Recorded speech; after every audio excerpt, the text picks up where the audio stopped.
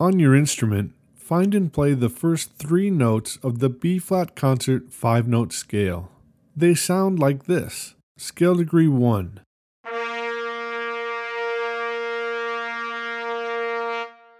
Scale degree 2.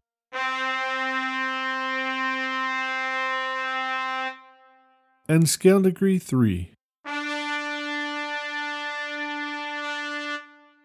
In this exercise, I'll use these three notes to play a pattern. Listen to the pattern and repeat after me.